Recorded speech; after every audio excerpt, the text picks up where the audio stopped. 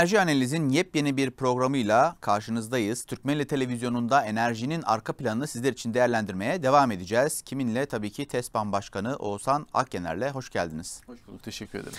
Evet kıymetli izleyenler bu hafta Türkmen eli coğrafyasından biraz uzağa gideceğiz. Türk Birliği'ni ele alacağız. Türk Enerji Birliği olabilir mi olamaz mı sorusunu gündeme getiren Nahçıvan koridorunu değerlendireceğiz. Biliyorsunuz Azerbaycan 44 günlük süren yoğun bir mücadelesi sonrasında işgal altındaki Karabağ toprağını kurtardı.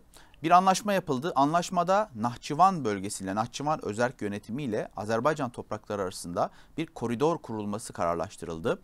Peki bu koridor Türk dünyasını birleştiren koridor mu? Gerçekten ne gibi fırsatlar, ne gibi imkanlar sunuyor? Bu koridor Irak'a, Irak'taki Türkmenlere veya bölgedeki enerji denklemine nasıl katkı e, sağlayacak? Hepsini bugün sizler için değerlendireceğiz. Hemen soralım. Evet Oğuzhan Bey, e, çetin bir mücadele e, sonrasında evet. önemli bir kazanım elde edildi. Azerbaycan'ın bu kazanımı tüm Türk dünyasının kazanımı esasında. Kesinlikle. Siz ne düşünüyorsunuz? Bu Nahçıvan koridoru gerçekten dengeleri değiştirecek mi? Ee, şöyle söyleyeyim, e, isterseniz Nahçıvan koridoruna girmeden önce oluşan e, psikolojik algı ve coğrafyadaki hani algısal değişimlerden birazcık bahsedelim. Hay hay. Çünkü e, gerçekten bu bütün Türk dünyasını etkileyecek bir mahiyette tezahür etti. Yani bu noktaya çekildi, bu noktaya geldi. E, çok şükür bunda da gerçekten Türkiye'nin çok büyük payı var. E, Türkiye bir nevi e, artık hani ilgili bütün özellikle hani Rus lobilerinin çok güçlü olduğu Hazar coğrafyasındaki Türk devletleri nezdinde Türk lobileri ciddi anlamda güç kazandı. Ve Rus lobileri geriledi bu bağlamda. Azerbaycan için de böyle oldu. Hatta e, şunu da ifade edelim. Azerbaycan bu operasyonlara başlama sürecinde e, Azerbaycan Silahlı Kuvvetleri'nde dahi Rus lobilerinin ve Rus lobileriyle birlikte çalışan e, bazı e, askerlerin e, etkinliği ciddi oranda yüksekken bu çok ciddi anlamda kırıldı. Ya birçok görevden alınmalar oldu, yer değişiklikleri oldu. Hani bizim e, FETÖ'yle yaptığımız mücadelenin bir benzerini e, Rus lobilerine karşı gerçekleştirerek başlandı bu operasyonlara. E, ve bunda tamamen e, şunu da ifade edelim. Yine Türkiye'nin, Türk istihbaratının ve Türk Genel Kurmayının desteği söz konusuydu. Azerbaycan ordusundaki bu değişimler içerisinde. Tabii bununla birlikte, bununla birlikte e, hatırlıyorsanız biz TESPAM olarak birçok panel yapmıştık. Hatta evet. e, yani yanılmıyorsam e, Eylül ayında ya da e, Ağustos ayında yaptığımız panelde e, birçok hani diplomat, komutan ve benzeri birçok kişiyi de davet etmiştik. O zaman e, bir şey ifade etmiştik. Ya demiştik yani bir gece ansızın bakarsınız Karabağ'da gelebiliriz. Hani ilgili diplomat arkadaşlar o zaman şunu söylemişti. Ya hani olmaz zor falan filan demişlerdi. Bakın o bir gece ansızın dediğimiz süreç başladı. Yani bunun başlamasıyla alakalı da şöyle söyleyeyim. Gerçekten Türkiye'nin tabii küresel denklemdeki kırılmalar Bakın bu küresel denklemlerindeki fay hatları bu çok önemli. Çünkü Amerika'da bir yönetim değişikliği var. Rusya'nın mücadele etmesi gereken birçok alan var. Petrol fiyatlarındaki krizler bakın petrol fiyatlarına tekrar girdik mecburen. Petrol fiyatlarındaki e, düşük seyreden e, seviye e, Rusya'yı çok ciddi anlamda etkiledi. Uluslararası operasyonlarını kırdı. Çin e, yine zarar görmüş olsa da Çin Amerika'daki yönetim değişikliği şu süreçte birçok hamle yapmaya çalışıyor. Lakin bu hamlelerde de hani çok başarılı olduğunu da ifade edemem.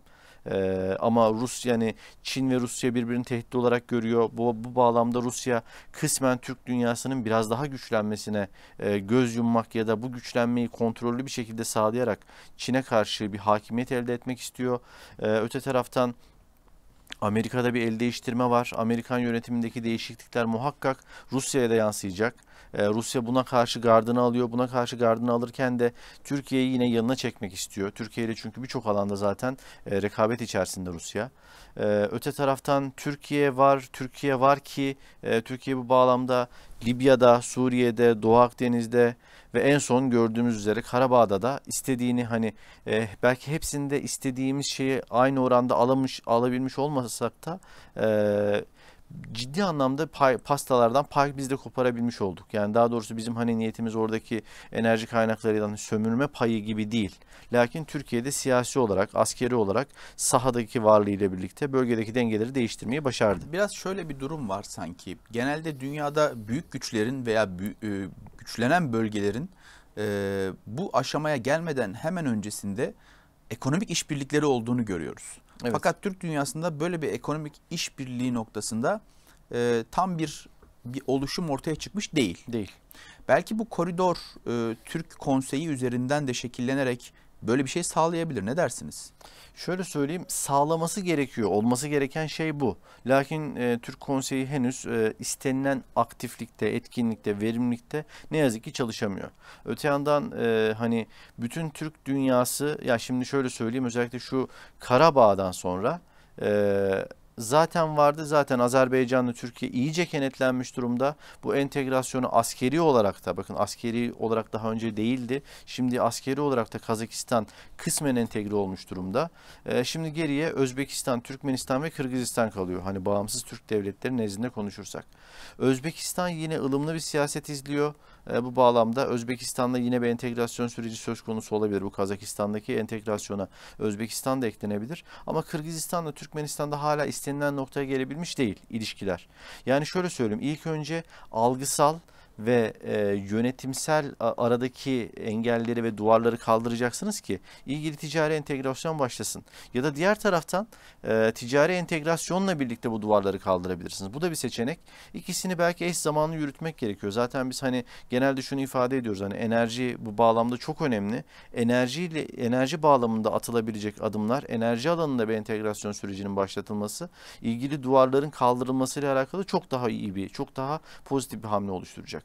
Ama öte taraftan bakın şöyle söyleyeyim hani bu e, ilgili ülkelerdeki toplumsal dönüşümlerin ve bu toplumsal dönüşümlerin tetiklediği e, devlet akıllarındaki değişimleri e, değişimlerle alakalı e, küçük küçük artık farklılaşımlar, e, yavaş yavaş ısınmalar başladı. Hani az önce bahsettiğim şey Diğer şuydu. coğrafya, diğer Türk coğrafyalarından mı bahsediyorsunuz? E, yok. Yine bu mevcut Türk coğrafyasından bahsediyorum. Yani bağımsız Türk Devlet devletlerinden bahsediyorum. Kesinlikle. Yani, evet. Ha diğer Türk coğrafyaları da etkilendi. Şimdi şöyle bir şey var. Bakın e, şimdi e, Türkiye hani az önce kırıl, uluslararası fay hatlarından bahsettim. Yani uluslararası ortamda belli fay hatları var. Çatırdamalar var. Siz bu fay hatlarını ve çatırdamalarını fırsata dönüştürebilirsiniz. Türkiye ve Azerbaycan zaten tam doğru zamanda bunu yaptı. Bu fay hatları sebebiyle zaten Rusya hani en son artık baktı Ermenistan ordusu talın edilmiş durumda getirdi anlaşmayı ortaya koydu. Tabi Rusya bu noktada bir, bir taşla bir çok kuş vurmaya çalıştı. Yani örnek vereyim ee, Azer şimdi Rusya mevcut e, sürekli batıya göz kırpan Ermenistan hükümetinden e, Rusya çok da memnun değildi. Bu sayede Ermenistan hükümetine bir cevap vermiş oldu. Hükümet de değişecek. E, bu bağlamda bir etkisi de oldu. Özel öte taraftan bölgede güçlenen Azerbaycan'a artık el verdi. Yani bakın ben senle de çalışırım. Hani tamamen beni kaybetmeyin gibisinden. Bölgeye asker de çıkarttı. Türkiye ile olan ilişkilerini de pekiştirmiş oldu. Birçok hamle yapıldı.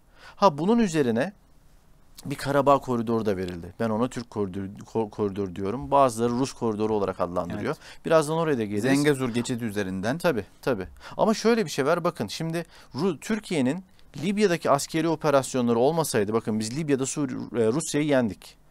Sadece Rusya'yı değil Fransa'yı da yendik. Birleşik Arap Emirlikleri'ni de yendik. Mısır'ı da yendik. Bakın yani geniş bir coğrafyadan bahsediyoruz. Ee, şimdi Türkiye'nin oradaki operasyonları olmasaydı, Doğu Akdeniz'deki dirayetli duruşu olmasaydı, Suriye'deki operasyonları olmasaydı, e, Kuzey Irak'taki teröre karşı Amerika'ya rağmen yerine göre yürüttüğümüz operasyonlar olmasaydı, e, Türkiye e, Karabağ'da da bu, bu bağlamda istediğini alamazdı. Buradaki hareket kabiliyetimiz aynı zamanda dronlar ve hani sihalarla elde ettiğimiz e, teknolojik imkanlar Karabağ'da etkisini gösterdi. E, ve Karabağ'da Türkiye'nin desteklediği Azerbaycan büyük bir zafer kazandı. Ve e, bu hani Rusya'nın yerine göre daha erken müdahale edip ya dur demesini Türkiye'nin siyasi baskıları önledi. Bakın bu da çok önemli. Hatta öte taraftan Amerika bile Ermenistan'a siyasi olarak destek verdi. Tam istenilen destek hani bekledikleri destek olmasa da e, sahada bir destek görülmese de en azından siyasi bir destek verildiğini gördük. Fransa sonuna kadar arkada durdu. Ama şimdi şöyle bir şey oldu. Türkiye'nin desteklediği Azerbaycan e, 30 yıl sonra Karabağ geri aldı. Yani bakın biz yüzyıllardır hep Türk devletleri, Türk coğrafyası hep toprak kaybederken ilk defa hatta bütün İslam dünyası ile ilgili de bunu dahil edebiliriz, konuşabiliriz. Yani Türk İslam dünyasında bizim bu medeniyet coğrafyası olarak adettiğimiz coğrafya ilk defa bir toprak kazandı. Evet. Yani hani şöyle Avustralya, söyleyeyim. Avusturya e, sınırından bu yana diyelim o zaman. Biraz daha çerçeveyi büyütelim. Aynen öyle. Aynen öyle. Yani şimdi böyle bir süreç var. Böyle bir süreç var. Gerçekten Türk İslam dünyası noktasında Ee, gerçekten büyük bir başarı var. Karabağ davası sadece hani sadece Türk milletinin değil, İslam dünyasının da aslına bakarsanız davasıdır. Her ne kadar bazı kendilerini İslam olarak addeden devletler bu bağlamda Ermenistan'ı desteklemiş olsalar da hani bunu da buna da tırnak Evet. işaretinde e, açıklayalım. E, burada gerçekten büyük bir başarı var ve bakın bu başarı birçok algıyı değiştirdi. Özellikle Türk coğrafyasında. Şimdi ne oldu? Turan ordusu konuşulmaya başlandı. Hemen o o süreçle birlikte Rusya'da bakın Rus kamuoyu Turan ordusunu konuşmaya başladı. Şimdi bakın bu ne anlama geliyor? Ee, aynı zamanda mesela Azerbaycan'daki arkadaşlardan dinlediğimiz kadarıyla aynı şekilde Kazakistan'dan da dinlediğimiz kadarıyla şimdi şu oluşmaya başlıyor. Şimdi hani toplumda siz gençlerin sosyolojisine bakın. e, sosyolojik bir analiz yapın. Ya şimdi bakıyorlar yani nerede yaşayalım? Hepsi Rusça konuşuyor. Ee, şimdi Türk dizileri ve Türkiye'nin entegrasyonuyla biraz Türkçe'de, Türkçe, Türkiye Türkçesine de hakim olmaya başladılar. Yani şimdi daha önce belki oradaki sosyal profilin yüzde e, yetmişi gidip Rusya'da, Moskova'da yaşamak istiyorken şimdi belki bu yüzde yetmişin içerisindeki yüzde otuzluk kısım Türkiye'ye dönmeye başladı. Bakın artık toplumsal algı noktasında Türkiye'nin imajı giderek yükseliyor. Ve aynı zamanda Rusya e, Rus Rus toplumu nasıl e, Turan ordusunu konuşuyorsa ilgili Türk ülkeleri de bunu konuşmaya başladı. Yani biz şimdi şunu demiyoruz ya Turan ordusu kuruluyor falan hani şu an realite değil bunlar. Ama bakın artık yavaş yavaş ilgili Tabii algı oturmaya silah başladı. sistemleri farklı. Türk coğrafyasındaki silah sistemleri büyük oranda e, Rus menşeli silah sistemleri ve Tabii. Çin menşeli silah Tabii. sistemleri. Türkiye ise tam aksine NATO ve Amerikan silahları hakim. E, iki ordunun yani iki e, e, e, ülke taraflarının ordularının birleşip tek tip bir yapı kurması şu an çok mümkün değil. Ancak. Türkiye'nin silah sanayisi belli bir aşamaya ulaşır. Diğer Türk devletleri de buna belli bir noktada yapacakları üretimle katkı verirlerse kendine ait, Türk dünyasına ait bir silah sistemi e, demeti ortaya çıkar. O aşamada biz ancak bir Turan ordusu adı altında Aynen. e, yapılanmayı konuşabiliriz. Ama Aynen. şu Ya yakın şu an tarihte olacak bir şey değil gibi Ona görünüyor. bir ihtiyaç da yok. Yani az önce bahsettiğiniz gibi asıl ilk yapılacak hamle ekonomik entegrasyon. Evet. Ama bakın ekonomik entegrasyonun arkasında da az önce ifade ettiğim gibi toplumsal dinamikler var. Şimdi bakın şu Karabağ zaferi bu toplumsal dinamikleri tetikledi. Ya şimdi artık hani bakın herhangi bir o ilgili Türk devletlerinde yaşayan hep daha önce Rus hegemonyasında büyümüş vatandaşlar şu perspektiften bakıyor. Ya hani eskiden mesela ya Türkiye kim? derlerken artık Türkiye kim denmiyor. Bakın Karabağ'da Rusya'yı durduran, Azerbaycan'ı Karabağ almasına destek olan bir Türkiye var. Ha, demek ki bir Türkiye var. Artık hani ya Türkiye varsa e, bir de yeni bir koridor varsa artık yeni bir ticaret imkanı da söz konusuysa artık ticaret gelişecek demektir bu. Yani artık Türkiye gidiş gelişler daha fazla artacak. Türkiye Türkçesinde buluşmalar artacak. Bakın bunların hepsi birbirini tetikleyecek diğer alt başlıklar. Evet. Şimdi bakın bu süreç sağlanmışken e, Karabağ'da artık yeniden Türk yurdu haline getirilmişken azad olunmuşken e, Rusya'nın e, gerçekten hani kapılarını açtığı bize ayrı- ayrıca bir koridor oldu. Hani bu şeyin içerisinde pastada yeni bir e, dilim verdi Rusya. Ve bakın bu e, Türk koridoru olarak adlandıracağımız bu koridor dahilinde e, Karabağ'dan e, Nahçıvan'dan e, Ermenistan sınır Ermenistan İran sınırına paralel olarak devam eden sonra da Karabağ'dan Bakü'ye kadar uzanacak bir koridordan bahsediyoruz. Burada ben hemen girmek istiyorum. Şimdi çatışmalar boyunca e, böyle bir koridor hiç gündeme gelmedi. Sadece Türkiye'de Milliyetçi Hareket Partisi lideri Devlet Bahçeli'nin bir açıklaması oldu. E, bu burada bir koridor oluşturulması, tarihi o geçidin e, Azerbaycan tarafından kontrol edilmesi, Nahçıvan ve Azerbaycan'ın birleştirilmesi, birleşmesi noktasında bir kanaati oldu ama onun dışında e, ne dünyanın herhangi bir devletinden Azerbaycan dahil ne de e, herhangi bir topluluktan böyle bir talep gelmedi. Evet. E, Ama biz bir anda böyle bir koridor gördük. Şimdi koridor muhakkak diplomatik olarak arka planda konuşulmuştur. Orasını biz görmüyoruz veya duymuyoruz. Lakin hiç böyle bir şeyin gündeme gelmeden ortaya çıkıyor olması ş- akla şu soruyu getiriyor. Rusya neden böyle bir şeye müsaade etti? Evet. Şimdi e, biraz analizi derinleştirip çerçeveyi de büyüttüğümüz zaman e, bölgede Çin'in bir yol bir kuşak adı altında başlayan projesinin daha sonra kuşak yola evrildiğini e, ve bunun bir koridorun da Karabağ üzerinden geçtiğini görüyoruz. Evet. Sanki e, bu koridoru daha canlı hale getirmek için yapılan bir şeymiş gibi görünüyor. Tabii. Yani Çin'in e, dünyayı en- ekonomik anlamda e, entegre etme çabasının, orta kuşağı aktif hale getirme çabasının e, en somutlaştırılmış adımı gibi görünüyor bu. Rusya belki bundan dolayı Ermenistan'a cevaz verdi. 30 senedir cevaz vermedi. Aman işte e, Minsk grubunda tamam e, Karabağ Azerbaycan'ındır deyip e, boşaltın burayı diye Ermenistan'a dönmediği bir süreçten hı hı. bir anda hayır çatışmalarda e, kolektif savunma anlaşmasının bir konusu değildir bu diyerek arka plana çekildiği bir döneme geçtik. Evet. Yani buradaki tablo gerçekten sizce de kuşak yol projesinin bir uzantısı mı? Şöyle kuşak yol projesi dahilinde bu süreç, bu ilgili koridor muhakkak çok önemli bir koridor haline gelecektir. Yani ilk başta şöyle söyleyeyim. E, isterseniz biraz hani haritalar üzerinden çok konuşarak da devam edelim. E, direkt 4 numaralı haritadan başlarsak, evet. pardon 5 e, numaralı grafikten başlarsak. rica ediyorum. Yani şimdi şöyle bir şey var. E, bakın burada e, yaklaşık biz 550 kilometrelik bir hattan bahsediyoruz. Yani Türkiye'nin doğu sınırından Bakü'ye kadar olan bir hattan bahsediyoruz. Bu 550 kilometrelik hat yani ne anlama geliyor? Neredeyse hani biraz daha e, neredeyse Ankara İstanbul'un e, batı yakası gibi hani bir mesafeden bahsediyoruz. Hı hı. Şimdi bu hatta e, şu an mevcut durumlarda hani e, ciddi anlamda bir yol yok. Ama siz buraya bir otoban yaparsanız, tren sistemi kurarsanız bölgenin dinamiklerini çok etkilersiniz. Azerbaycan zaten projeleri çizmeye başladı. Tabii. Şimdi şöyle bir şey var. Ee, şimdi İran'ın o dağlık kesimlerinde, orla, bu arada o taraflarda da böyle istediğiniz gibi demir yolu, tren yolu ve benzeri ya da otoban gibi şeyler yok. Hani alternatif güzergah, güzergahlara baktığımızda şimdi Rusya üzerinden çok dolanarak Avrupa'ya giden sevkiyat söz, sevkiyatlar söz konusu hani Kazakistan ama tabii şöyle söyleyeyim birçok ülke geçişi var. O birçok ülke geçişinde e, hani bir de Rusya hani yani her dört mevsim kullanamıyorsunuz. Hı hı. Bir sürü problem hani kar, kış evet, ve benzeri soğuk. şeylerde bir sürü sorun çıkıyor. Öte taraftan inin aşağı aşağıdan gelmek isteseniz ben karayolu üzerine konuşuyoruz yalnız hani. Gürcistan deniz, üzerinden. Den, tabii deniz yolları ayrı sıkıntı. Hani e, Gürcistan'a daha gelmedim. Hani Gürcistan'da konuşalım birazdan. E, şimdi hani e, Çin üzerinden geldiğinizde diyelim hani Türk ülkeleri Pakistan hani Hindistan'a attığınız diyelim Pakistan, Afganistan, e, İran üzerinden geldiğinizi varsaysak hani o bağlamda e, ya da Türkmenistan'a girip İran'a girdiğinizi varsaysak o bağlamda da birçok ülke geçiyorsunuz. Öte taraftan İran'ın yani İran'ın stabilizesi, stabilizesi çok şey değil, tekin değil. Hani size çok güven vermiyor. Tamam e, İran'ın e, sonuna kadar girmiş. Hani her türlü hücresine kadar Çin neredeyse ticari anlamda nüfuz etmiş durumda. Lakin e, yani oradaki bir güzergah Amerika engel koyar şu olur bu olur. Hani garanti evet. güvenli ticaret anlamında sizin İstikrar sürekli... ortaya çıkmaz. Tabii istikrarlı bir rota değil. Şimdi diğer rota neresi kalıyor?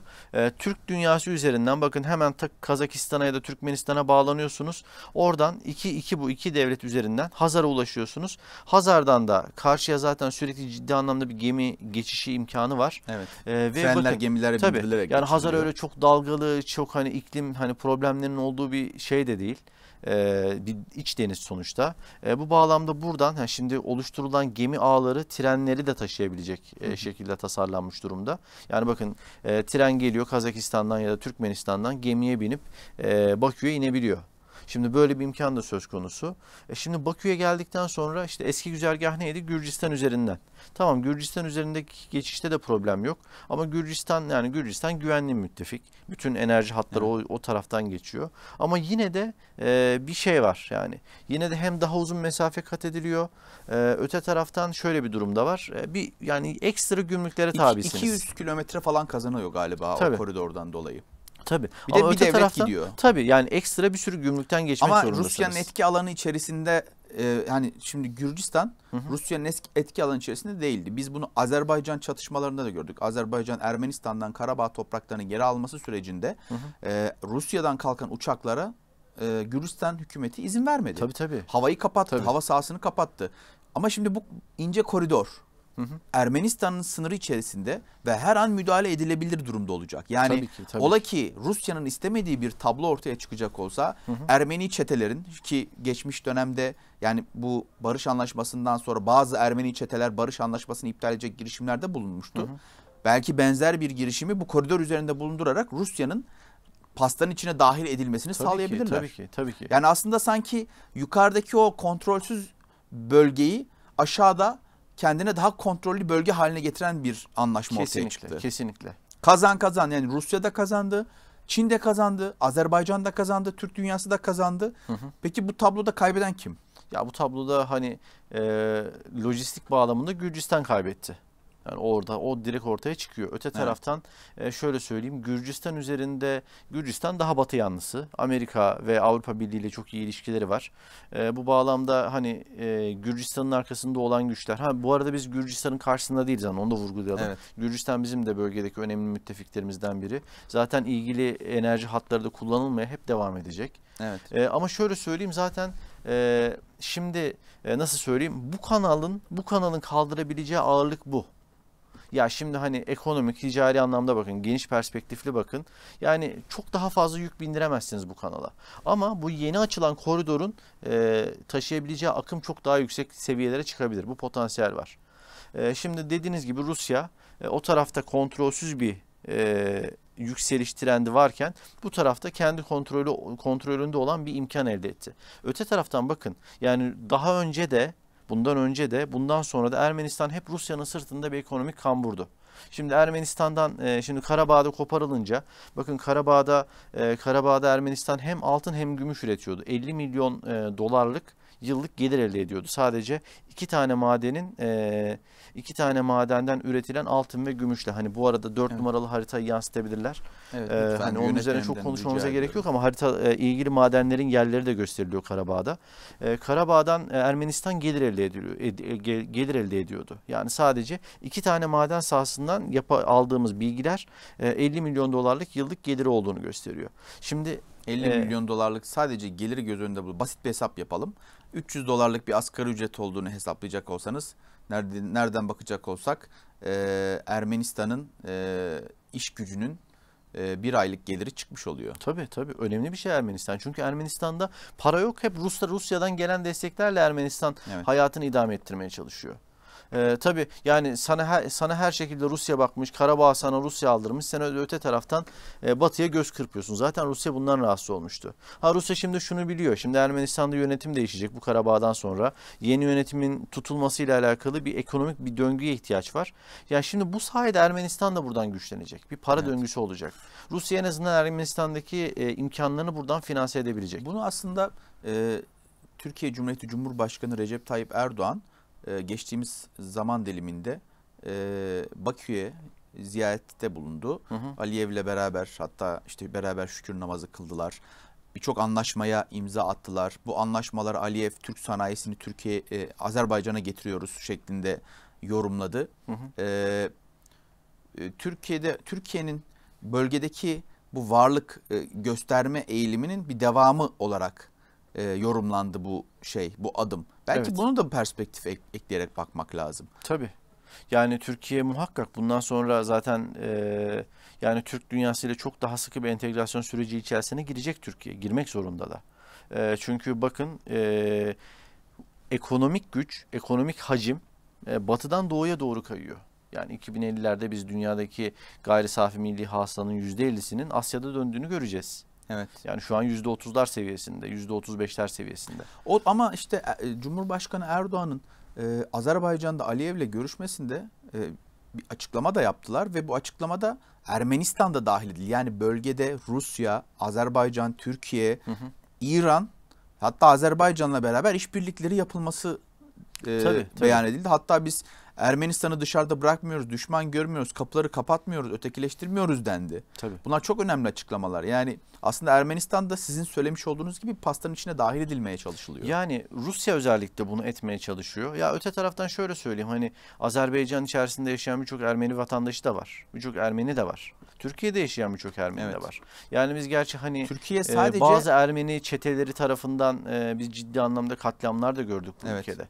Yani ne yazık ki e, hani ilgili artık e, sosyopsikolojik ya da sosyokültürel e, genler mi diyelim ne diyelim hani bu bağlamda. E, ne yazık ki biz bunları daha önce gördük. Bu bağlamda biz hani illa ne kadar bir entegrasyon sürecine girsek de bir temkinle yaklaşırız. Ama yine de biz hani ekmeğimizi paylaşırız. Hani işin ayrı, ayrı boyutu da var. çok güzel evet. Ermenistan için gerçekten bölgede yani bu bağlamda entegrasyon süreci içerisine girip eski düşmanlıklarından feragat etmesi Ermenistan'ın da faydasına. Çünkü hani hangi hükümet gelirse gelsin çok ciddi anlamda ekonomik buhran içerisinde olduğunu biliyoruz. E, işte bu buhranın açılması demek bu koridor bunu sağlayacak. Ha Tabii. şimdi e, isterseniz yavaş yavaş koridora gelelim. Evet lütfen girelim Çünkü artık. koridor e, şimdi bakın şimdi şu an için 550 kilometreden bahsediyoruz. Yani e, iyi bir arabanız varsa ya da bir hızlı trenle hızlı trenle 2 saatte hızlı tren hattı yapılırsa iyi bir arabanız varsa 2,5 saatte otoban olduğunu varsayalım. Hatta böyle otomatik hani HGS gibi sistemlerle otomatik tık tık tık tık tık. Bu 550 kilometre nereden nereye? Onu noktayı bir söyler misiniz? E, bu Bakü'den ta şeyden 5 numaralı haritayı açarsak orada direkt görülüyor. Tamam. Türkiye'de Ağrı'dan yani Doğu Beyazıt'tan e, Ağrı'dan Azi Bakü'ye kadar inen e, bir hattan bahsediyoruz. E, ilgili zaten hani bu güzergahları da ilgili yollarla ya da hani coğrafi koşullara göre rahat gidilebilecek bir güzergah üzerinden çizerek hesapladık 550 kilometreyi. Yani siz 2,5 saatte, 2 saatte, 3 saatte Bakü'de oluyorsunuz. Türkiye sınırından çıkıp Bakü'de oluyorsunuz. Şimdi gelelim e, bakalım bu noktada neler yapılabilir. Bakın şimdi enerji gerçekten çok önemli Türk Evet. dünyası için. E, kaç dakika vaktimiz var bilmiyorum da isterseniz direkt 8 numaralı haritaya geçelim. tabii. 8 numarayı lütfen ekrana yansıtalım. Şimdi e, Türk dünyası hepimizin bildiği gibi daha önceki e, programlarımızda da bundan bahsetmiştik. Enerjiyle ön plana çıkan bir coğrafyadan bahsediyoruz. Evet. Türk coğrafyası. Bakın şimdi burada bağımsız e, Türk devletleri nezdinde konuşursak yani 156 milyonluk bir Türk nüfusu var. Bağımsız Türk devletleri dahilinde konuşursak. Yoksa hani e, Irak Türkmenleri, İran Türkmenleri, e, öte taraftan Doğu Türkistan, e, Rusya'daki Türkmenler hani bunların hepsini eklediğimizde bu e, oran çok daha yüksek seviyelere çıkıyor. Topluluklar başka. Biz devlet, kurumsal olarak bakıyoruz. Devlet. Tabii biz devletler nezdinde konuştuğumuzda. Evet. E, bu arada har- haritayı yansıtabilir miyiz? Ben ya, ya- da yansıtılıyor Evet, mu görmüyorum da. Yansıtılıyor mu haritamız? Çünkü onun üzerine konuşurken seyircilerimiz de rahat görebilsinler. 5 numaralı harita değil, 8 numaralı haritayı yansıtır mısınız lütfen? Şimdi 156 milyonluk bir Türk nüfusundan bahsediyoruz. Ve bu 156 milyonun neredeyse hani 160'a yuvarlayın. Yarısı bu tarafta. Hatta mesela 83 milyon Türkiye. Artı 10,5 milyon e, Azerbaycan. Hazar'ın e, hatta şimdi Nahçıvan daha önce ayırıyordu. Hani o aradaki ayrımı Türkiye-Azerbaycan arası olarak düşünelim. Bütün Hazar Türk ülkelerini bir olarak düşünelim. Çünkü Hazar coğrafyasındaki Türk ülkeleri birbirine zaten bağlı. Hani eski Rusya'nın hegemen olduğu e, bölgeler olarak da düşünülebileceği için zaten birbirlerine hem kültürel hem dil e, hem e, ekonomik olarak bağlılar. Lojistik olarak da bağlılar. İlgili hani demir yolları, şeyler, deniz geçişleri falan e, mevcut durumda. Bu bağlamda bakın Türkiye buradan ayrıydı. Yani demek ki 160 milyonluk ortalama Türk dünyasının 83'ü bu taraftaydı, kalan 80'i bu Evet. taraftaydı. Şimdi bakın bu köprü gerçekten ikiye bölünmüş olan Türk dünyasının birleşmesi anlamına geliyor. Şimdi ticari olarak baktığımızda gayri safi milli hasılalar noktasına baktığımızda Türkiye'nin 754 milyar dolarlık bir gayri safi milli hasılası var. Öte tarafta da işte toplamda baktığımızda mesela 48 milyar dolar Azerbaycan, 180 milyar dolar Kazakistan, e, 57,9 milyar dolar Özbekistan gibi zaten haritada görülüyor. Yani 1,9 trilyon dolarlık toplam Türkiye e, toplam Türk dünyasının da bir gayri safi milli hasılası var.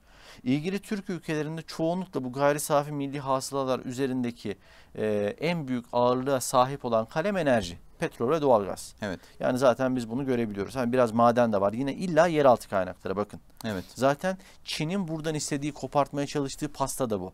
Bakın Çin burada elini atmış durumda. Ee, Çin buradan bir şeyler kopartmak istiyor. Rusya Çin'i daha fazla kontrol altına tutmak istiyor. Ee, yine Çin'le enerji bağlamında da bakın bu coğrafyada Rusya'nın bir rekabeti var. Mesela Kırgızistan gibi ülkelerle biz buna çok şahit olduk özellikle. Şimdi böyle bir durum söz konusu. Enerjiyle ön plana çıkıyor. Gayri safi milli hasılalar noktasında bakın 754 hani e, pastanın 3'te 4'ü bu tarafta kalan e, 1 bölü 4'ü de %25'i de bu tarafta kalıyor. Ortadan yine bölünmüş durumda. Hı hı. Şimdi siz burada sağlam bir entegrasyon süreci kurabilirseniz para akışı her türlü akış başlayacak. Yani enerji enerji akışı zaten kısmen devam eden hani onlardan bahsedeceğiz. Ee, söz, söz konusu ama öte taraftan maden ticareti yani Türkiye'nin ürettiği şeyler tarım ürünleri ve benzeri her şeyin ticareti olacak. Çünkü öte tarafta şimdi siz ne yapıyordunuz? Ee, diyelim buradan domates göndereceksiniz. İşte şeyden gidiyor. Ee, Buradan e, yani trene bindireceksiniz. Türkiye'ye nokta hani Türkiye'nin son noktasına ulaşacak. Kars'a ulaşacak. Kars'tan e, demir yolu ya da diğer imkanlarla Gürcistan'a geçecek.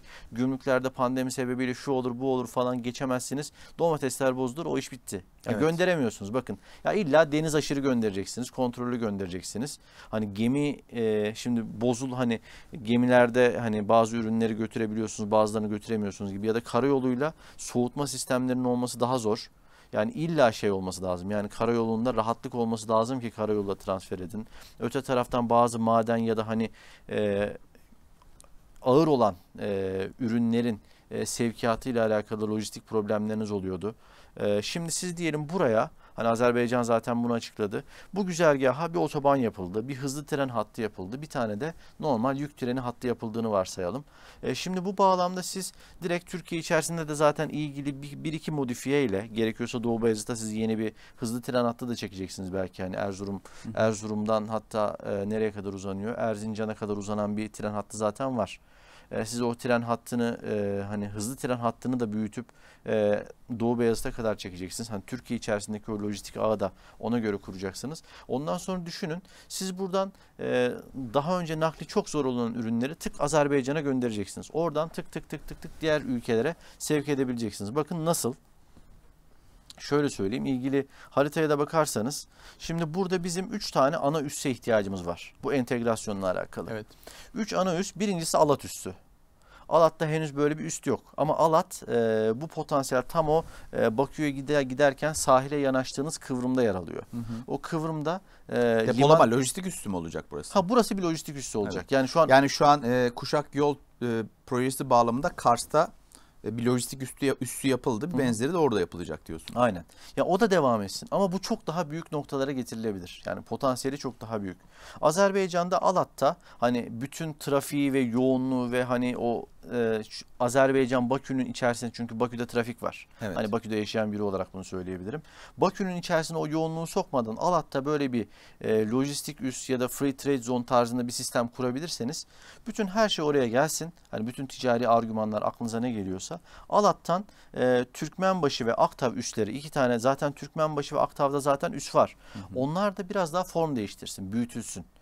Oraya buradan da e, bütün Asya'ya e, Asya'yı biz buradan besleyebilelim. Özbekistan'a hatta Türkmenistan Özbekistan arasındaki ve Kırgızistan'a uzanan yolların da yeniden yapılması lazım. Tren yollarının hani belki o bağlamda Çin'den de destek alınabilir. Çünkü Çin de faydalanacak bu bağlamda. E, böyle bir sistem kurgulanmalı. Enerji bağlamında baktığımızda şimdi Kazakistan e, petrolle ön plana çıkan bir ülke. Çok ciddi petrol Evet. üretimi var, artacak, potansiyeli de var. Yeni sahalar da bulunacak. Şimdi Kazakistan'a biz şimdi e, hemen şu genelde şu soruluyor. Ya boru hattı mı çekelim oradan çat boru hattı geçecek mi falan. Şu an bizim yaptığımız çalışmalar e, yeni boru hattına ihtiyaç olmadığını gösteriyor ya da ekonomik olmadığını gösteriyor. Ya da yeni gaz boru hattına da ihtiyaç yok. E, ama şu yapılabilir bakın Kazakistan zaten bakın dünyada da şey daha çok ham petrolden ziyade petrokimya e, ve rafineri ürüne doğru dönüyor.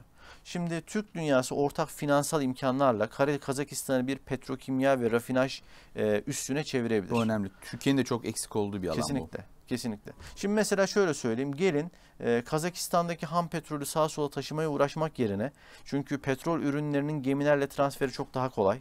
Çünkü dönüştürüyorsunuz, daha pahalı hale getiriyorsunuz. Hani katma değeri yüksek oluyor. Ya plastik oluyor, Tabii. lastik yani oluyor. Mesela aynı işte. zamanda hani şunu da arada vurgulayalım. E, mesela Türkiye'nin o petrol kaynaklı e, cari açığını çözmesinin yollarından bir tanesi de ya petrol bulacaksınız ya da rafineri kuracaksınız. Siz ham petrolü alıp rafineri ürünü haline getirip satarsanız cari açınız zaten düşer. Bakın bu, Evet. bu bile bir çözüm. Evet. Şimdi bu bağlamda Kazakistan'ı ortak e, petrol ürünü ticaret merkezi haline getirdiniz. O Aktav üssünün yakınlarında kurduğunuz rafinerileri e, ve petrokimya tesislerini buradan ürettiğiniz bakın özellikle hani buradan batıya da gönderirsiniz ama ileride sizin asıl hedef piyasalarınız Hindistan olacak. Yani biz bunu uzun vadeli projeksiyonlarda görüyoruz. Bu teori aslında çok da ayağa yere basıyor. Son zamanlarda e, Kazakistan'ın Ankara Büyükelçisi Abzal Saparbekuli de benzer şey söylüyor. Türk dünyasına sesleniyor. Gelin Kazakistan'ı e, Türk dünyasının üssü haline getirelim. Hı hı. Ekonomi üssü haline getirelim. E, evet uygulanabilir bir teori gibi Kesinlikle, görünüyor. kesinlikle. Yani şöyle söyleyeyim biz ne yapıyoruz? Bakın ekonomi üssünden ziyade e, petrol üssü, petrol ürünü üssü haline getiriyoruz. Aktav üstünde bu olacak. Zaten hani tankerlerle batıya nakli de bu bağlamda Hazar üzerinden yine aynı Türk koridoru üzerinden yapabileceksiniz. Tabii şimdi burada hani e, tabii birçok seçenek var. Bunlar masadakiler. E, bir taraftan da Irak'a bu işin yansıması olacak. Hani son 10 dakika içerisinde girmişken hemen onu da Ha, tamam. değerlendirelim. O zaman Türk Türkmenbaşı üstünden de kısaca bahsedeyim. Türkmenistan ve Özbekistan'da ikisinde sahaları Özbekistan sınırına yakın bu arada. Ama bir boru hattı yapıldı. Hı hı. Ee, şimdi siz Türkmenistan'da e, Özbekistan sınırına yakın da kurabilirsiniz. O boru hattıyla taşıyıp kıyıya yakın da kurabilirsiniz. Türkmenistan'da biz e, doğalgaz boru hattı çekmek yerine bir elektrik üretim üstüne dönüştürelim. Ve istediğimiz tarafa istediğimiz zaman satabilelim. Bakın ikinci opsiyon bu. Ee, Türkmenbaşı üstünden de e, Alat üstüne bir 300 kilometrelik elektrik hattı çekelim. Çift yönlü çalışsın. Ee, diyelim siz buradan Türkmenistan'dan elektriği verdiğinizde e, Azerbaycan Türk koridoru üzerinden Türkiye'ye bağlansın. E, hani fazla olan elektrik şebeke tabii diyorsunuz. Şu an Türkiye'nin elektrik interconnection e, şebekesi Avrupa'ya entegre. sadece Avrupa bile değil. Bakın Türkiye İran'dan elektrik alabiliyor ya da İran'a satabiliyor. Eğer öyle bir şebekeyi biz ta oralara kadar uzatırsak o zaman e, şu da olabilir. Avrupa'dan As- Asya'da Çin'e kadar Kesinlikle, entegre olabilen bir elektrik kesinlikle. sistemi Ha, aynı zamanda oluruz. bakın buradan bağlayalım. Mesela Irak, Irak elektrik problemi çeken bir ülke. Çok ciddi anlamda hem de. Ha, gaz sahalarını üretebilse elektrik problemi ortadan kalkacak. Ama bakın bu sistem dolaylı olarak Irak'a bile fayda sağlayabilir. Yani Irak Nasıl şu an mesela? e, ya Irak şu an ya şöyle söyleyeyim siz e, Kuzey Irak üzerinden e, Irak'ın merkezi hani elektrik dağıtım sistemine düzgün bir bağlantı verebilirseniz Hı hı. e, siz elektriği Irak'a elektrik satabilirsiniz. Şu Irak'ta Irak doğal gaz alıyor İran'dan, onu elektriğe çeviriyor. Bu anlamda ciddi bir Yani hem giderir. doğal gaz alıyor hem de Irak normal elektrik elektrik tüketiminin 1 bölü 3'ünü Irak, e, İran'dan ithal ediyor. direkt elektrik Yani böyle olarak. bir şey tabii direkt elektrik olarak da ediyor. Yani böyle bir şeye gerek, gerek kalmaz. Ha Irak inşallah yani tekrar huzura kavuşup o doğal gaz sahalarının üretimi alabilirse yani kısmen kendi elektrik şeyini de çözer. Hatta uzun vadede büyük yatırımlar yapılabilirse Irak'ta yani mesela şöyle söyleyeyim e, uzun vadeli konuşalım. 30 sene sonra Irak'taki bütün gaz sahaları üretime alınırsa Irak bir doğal gaz e, ihracatçısı olabilir ama doğal gaz ihracatçısı olmaktan ziyade belki elektrik ihracatçısı olabilir. Elektriği nasıl ihraç edeceksiniz? Şimdi doğal gazda o kadar büyük bir ihracatçı olmayacak onu biliyorum. Ama elektrik noktasında Türkiye ile böyle bir interconnect sistem kurdunuz. Mesela ondan Türkiye diyelim 5 yıl sonra Irak'a elektrik ver ya da 10 yıl, 10 yıl sonra Irak'a elektrik vermeye başladı. 20 yıl elektrik verdi. Bu sefer Irak elektrik üretebilir noktaya geldi 30 sene sonra.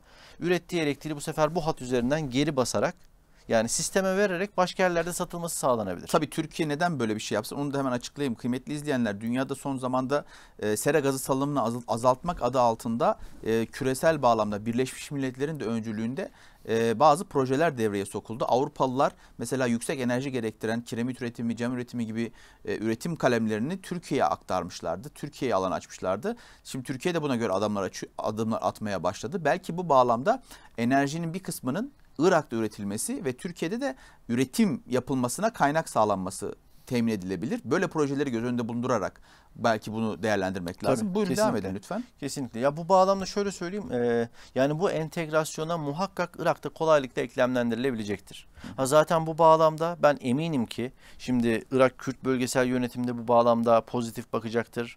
Eee, Türkmenler zaten pozitif bakacaktır. Eee, Irak coğrafyasındaki Türkmen kardeşlerimiz. Öte taraftan Bağdat yönetimi dahi ya şöyle şöyle söyleyeyim. Bağdat yönetiminin enerji problemini şimdi gösterilerin birçoğu elektrikten kaynaklanıyor. Yani elektrik bölgelere elektrik verilemiyor diyor birçok yerde böyle gösteri e, peydah ediliyor. Hatta şimdi mesela Amerika e, yaptırım uygulayacağım diyor. Şimdi yaptırım kararını verdi İran, Irak'a sürekli öteleme yapılıyor elektrik bağlamında. İran'dan aldığı elektrikten Tabii. dolayı. Yani bunu kes diyor ama kes kesemeyeceğini de biliyor. Şimdi keserse elektrik verilemediği için hükümet devrilecek. Ya bak hükümet devrilecek elektrik yüzünden Irak'ta. Evet. Yani şimdi bakın e, bu bağlamda bu proje orta vadede bak uzun vadede demiyorum. Çünkü bu elektrik hattının çekilmesi hani siz e, nasıl söyleyeyim siz bugün niyet etseniz iki sene sonra elektrik al, al ver sistemine başlarsınız. İlgili çevrim santralleri de kurarsınız. Yani e, Türkmenistan ve Özbekistan'ın e, üretim kapasitelerinin arttırma potansiyeli de yüksek. Ha bu arada şu bu dediğimiz ticaretten Çin rahatsız olacaktır. Ben- Çünkü e, bölgedeki bütün doğal gazı Çin kendisine istiyor. Ee, son 5 dakikada girmişken şu iki tablo da çok dikkatimi çekti. 6 ve 7 numaralar. Onlarla ilgili de bir değerlendirmeniz varsa onları da muhakkak söyleyelim. Ee, isterseniz e, 6 numaralıyı konuşalım Evet. çok kısa. E, bakın burada 6 numaralı haritada gördüğünüz gibi burada e, Türk dünyasındaki üretimler, tüketimler e, gibi konulara değiniyoruz. Yani şu an ortalamaya bakarsak dünyadaki petrol üretiminin neredeyse %3'ü Türk dünyasından karşılanıyor. Türk dünyasında Çok gerçekleştiriliyor. Dünyadaki şey. Tabii, küresel. yüzde üç. Tabii. Ee, Pazarlar gelişmediği için potansiyel çok daha tabii, fazla tabii, tabii. aslında. Yani mesela şöyle söyleyeyim örnek vereyim Kazakistan 30 milyar varillik kanıtlanmış petrol rezervi var. Ama oraya yatırım yapılırsa yeni yeni sahalar test edilirse hep sondajla oluyor bu işler büyük yatırımlarla oluyor. Ee, bakın Türk coğrafyası komple bakir bir coğrafya. Türkmenistan, Özbekistan ve Kazakistan'ın Azerbaycan'da büyük balıklar bulundu da bu üç coğrafyada biz çok yeni büyük balıklar bulabileceğimizden eminim. Hatta uranyum, kömür bu tarz şeyler de var. Hani sadece petrol, doğalgaz yok. Bu bağlamda bu üç devlete yatırım götürülebilirse, yani şimdi zaten bu ticari entegrasyonun gelişmesi e, bu bağlamda yatırımları da tetikleyecektir. E, yatırım götürülebilirse belki Azerbaycan'ın biz be- 10 sene sonra diyeceğiz ki 30 milyar varil değil, e, 70 milyar varil olmuş rezervi, kanıtlanmış Evet. rezervi. Yani bu noktaya gelebilecek bir potansiyel var. Ee, şimdi doğalgazda daha da önemli. Bakın 24.4 trilyon metreküplük kanıtlanmış gaz rezervi var. Dünyanın e, 12,4'ü mevcut kanıtlanmış gaz rezervinin. Gaz noktasında da Türkmenistan, Özbekistan'da deli potansiyel var. Yani Çin zaten sürekli buralara kanca atmasının sebeplerinden bir tanesi de bu. Evet. Yani şimdi bu dediğimiz entegrasyon bu şekilde kurulabilir. Ha öte taraftan şöyle söyleyeyim. Yani şu an için mesela bir e, mesela Bakü Tiflis Ceyhan boru hattı. Yani ileride belki tersine bile çalıştırabiliriz. Olabiliyor yani mu öyle bir şey? tabii her zaman boru hattı varsa, pompa istasyonlarınız varsa rahat mesela diyelim bundan e, 50 sene 50 sene sonra Azerbaycan'ın petrol e, ihraç edebilecek potansiyeli kalmadı. Sadece gaz sahalarının ya da üretebildiği petrol ancak iç piyasayı tüke, iç piyasada tüketilebiliyor ki bakın Bakü Tiflis Ceyhan boru hattı 1.2 milyon e, varil bölü gün civarında kapasitesi var. Yarı kapasitesi yarı kapasite kullanılıyor. Yani mesela zaten Irak petrolleri Ceyhan'a geliyor. Ceyhan'dan bu tarafta piyasa yoksa buradan bir basarsınız tık diye e, Azerbaycan. Azerbaycan'dan gelir. Oradan zaten ilgili hat bile kurulabilir hani ekonomik olursa. Tık oradan Hindistan'a boru hattıyla sis- sistemi bağlamış olursunuz. Ve bakın hani yeni bir hat e, maliyetleri kurtarmaz ama e, eski hatlar bu şekilde değerlendirilerek e, çok ucuza ufak revizyonlarla çok ucuza farklı imkanlar oluşturabilirsiniz. Rusya böyle pazarlara hakim oluyor zaten. Ee, galiba %15-20'ye kadar e, ucuz gaz sağlıyor dünyaya, özellikle Avrupa'ya. Evet. Ve bu şekilde piyasada e, domine edici bir ağırlığı oluyor. Tabii ki tabii ki. Yani Rusya'nın bu bağlamda Çin'i de kontrol etme politikası var. İşte karşısındaki rakipler Türkler. Ee, şimdi bakın hani e, şimdi Çin daha fazla kaynak çeşitliliği babında Türk ülkelerine yüklenmek istiyor. Ee, bakın bu bağlamda da işte e, biz böyle sistemler kurarsak bu Rusya'nın da işine gelecek. Çin üzerindeki ağırlığı artmış olacak ya da azalmamış olacak. Yani bu denklemi bu şekilde okumak lazım. Zaten bu bağlamda tabii şunu da vurgulayalım. Şimdi biz e, az önceki 8 numaralı haritada bahsettiğimiz gibi model ortaya koyalım diyoruz. Bir ticari entegrasyon başlatalım e, diyoruz. Enerji birliği oluşturalım diyoruz ki inşallah e, bu senenin Nevruz sonunda bir enerji birliği, Türk Enerji Birliği Kongresi'ni ilk defa organize edeceğiz. E, TESPAM olarak. E, bu bağlamda bakın adımlar atılacak. Türk Keneşi'nin yapısı kesinlikle değişmeli. Yani Evet. bu şekilde bu, bu, bu bağlamda yürütülemez. Öte taraftan böyle oluşturulacak bir birlikteliğe birçok ülke ekstradan davet edilebilir. Yani bakın bölge ülkelerinden davet edilebilir. Mesela Tacikistan dahil edilmeli. Macaristan yani sonuna kadar Avrupa Birliği'nin karşısında Türklerin yanında yer alıyor. Macaristan kesinlikle asıl üye olarak dahil edilmeli. Öte taraftan Irak gibi e, hani içe, içerisinde Türk nüfuzu ihtiva eden ülkelerin dahil edilmesi gerekiyor. E, mesela Rusya, Çin yerine göre belki gözlemci ülke statüsüne ya da Rusya biraz daha iyileştirilmiş bir statüde dahil edilebilir. Amerika, İsrail bile bu bağlamda e, entegrasyona dahil edilebilecek ülkeler arasında olabilir. O zaman şöyle diyelim tek cümleyle Türklerin e, entegrasyonu dünyada bambaşka bir tablo ortaya çıkartabilir. Çıkartabilir. Evet teşekkürler Oğuzhan Akgener. Evet kıymetli izleyenler Türkmenli Televizyonu'nda enerji analiz programında sizler için e, Azerbaycan Nahçıvan arasındaki koridorun dünyada ne gibi yeniliklere kapı açacağını konuştuk. Önümüzdeki hafta başka bir konuda tekrar sizle bir araya gelmek üzere şimdilik hoşçakalın.